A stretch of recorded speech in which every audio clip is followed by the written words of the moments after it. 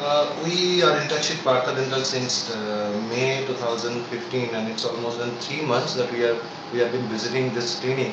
What I must appreciate is the very much you know uh, the friendly approach of the doctors as well as all the staffs over here, the punctuality and the way the patients are treated.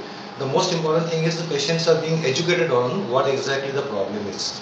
So which is uh, which is what I feel that uh, that Partha Dental is actually doing a very good job by educating us that uh, what exactly is my problem and what I am getting in as a, as a treatment from the doctors. Especially when we met Dr. Archana and she uh, I mean actually guided us in, a, in such a way that uh, it, it, it was a kind of that uh, I being a layman that uh, when we uh, we actually approached the doctor she made us understand that what exactly the problem was and what would be the treatment and how the treatment would go for and what would be the longevity and also every pros and cons were described to us each and everything. So in that way, uh, no, no, I would, I would, I would must, I must say fact, that uh, it's, it's a, it's a, it's a nice experience that we have been. Uh, we have been actually you know experiencing in Pakistan. All like a dentist, हम लोग exactly. तो. So I mean obviously no patient would uh, you know prefer to visit the doctor's clinic many times,